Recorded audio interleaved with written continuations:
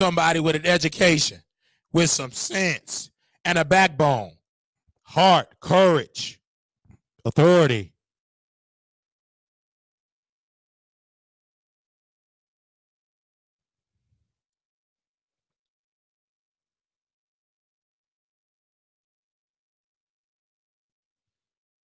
Your opinion don't matter. I don't watch your show. I watch it every.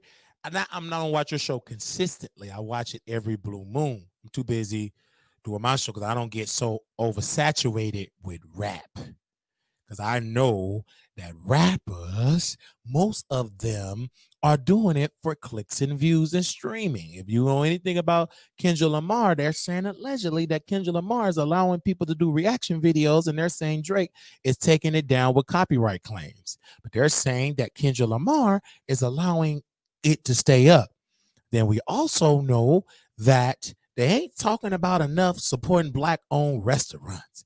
I wish they would take all of that, take half of that and build in and investing in black politicians that want to do for black folks white folks that want to do and uplift black folks and take care of the poor people. I wish that they take a piece of their influence and join Reverend Barber and the Poor People's March so poor folks can get their fair share. I wish that Kendrick Lamar and Drake would talk to the governor of California so he could get him some sense so they can stop having homeless people on the street so people can afford to live in apartments and don't have to live on the street in a car working 40 hours.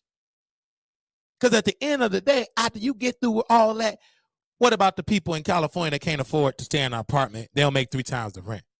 What about the people in Texas that can't afford shelter? They're getting frozen out because of high rent. What about the people in Chicago getting frozen out? Use some of that influence to tell these politicians to make better housing policy for American citizens. How about Kendrick Lamar and Drake go both and do a, a, press conference and really call for Brandon Johnson to get him some common sense to make sure he put Chicagoans, citizens first, Americans first.